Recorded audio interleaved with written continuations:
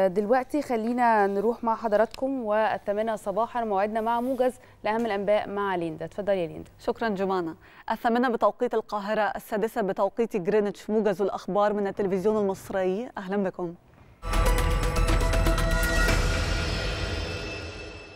ذكر بيان رسمي عن رئاسة الجمهورية أن الرئيس عبد الفتاح السيسي يتابع الأعمال الجارية حاليا لتطوير طريق الساحل الشمالي وأن هناك متابعة شخصية من قبل سيادته لآراء وملاحظات المواطنين بشأن الطريق. وأشار البيان أنه لم يتم الانتهاء بعد من تطوير الطريق بالكامل وبشكل نهائي بما يشمل كافة الأعمال الفنية وتزويده بالخدمات والإرشادات المرورية اللازمة لتنظيم حركة السيارات. وقد أفادت مصادر مطلعة بأن الرئيس السيسي وجه بتشكيل لجنة من الاستشاريين والخبراء الفنيين لبحث شكاوى وملاحظات المواطنين.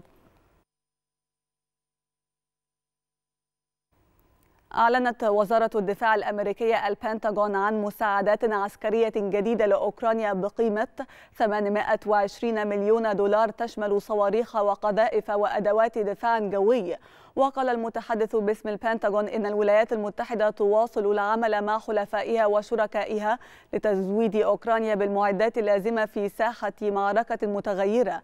هذا وتشمل هذه الحزمة من المعدات نظامين مضادين للطائرات وأربعة رادارات وصواريخ جديدة لقذفات الصواريخ الأمريكية من طراز هاي مارس التي دخلت مؤخرا إلى ساحة المعركة وما يصل إلى 150 ألف قذيفة.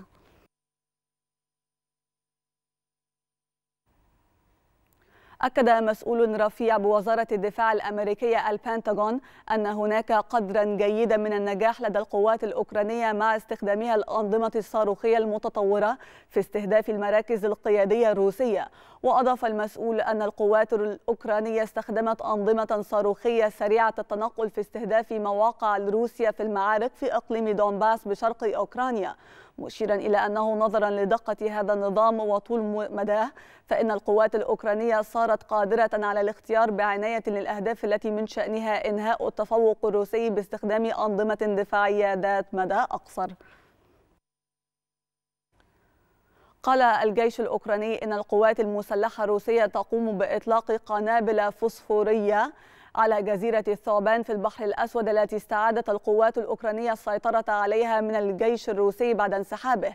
وأوضح قائد الجيش الأوكراني فاليري زالوجني أن القوات الروسية نفذت مرتين ضربة جوية مستخدمة قنابل فوسفورية على جزيرة الثعبان متهما موسكو بعدم احترام التصريحات التي أدلت بها.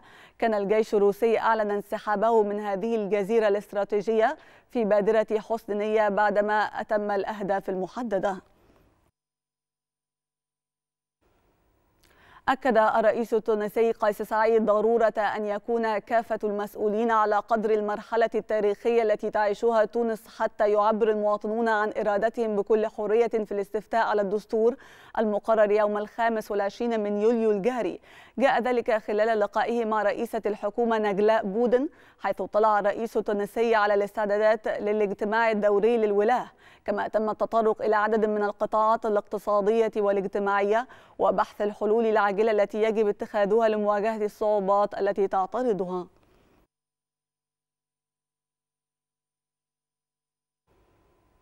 سجلت الصين 268 إصابة جديدة بفيروس كورونا منها 72 إصابة مصحوبة بأعراض و196 بلا أعراض وقالت لجنة الصحة الوطنية أن العاصمة بكين ومدينة شنغهاي لم تسجل أي إصابات محلية جديدة مصحوبة بأعراض أو أي حالات بلا أعراض وسجلت الصين حتى الآن 225747 إصابة بفيروس كورونا مصحوبة بأعراض ولم تسجل البلاد وفيات جديدة لتظل الحصيلة عند 5226 حالة. أظهرت الإحصاءات أن أكثر من 544 مليون و910 آلاف نسمة أصيبوا بفيروس كورونا على مستوى العالم. وكشفت الإحصاءات أن العدد الإجمالي للوفيات الناتجة عن الفيروس وصل إلى 6 ملايين و746 ألف و636 حالة. هذا وجاءت الولايات المتحدة في المرتبة الأولى من حيث عدد الوفيات والإصابات. تلتها الهند.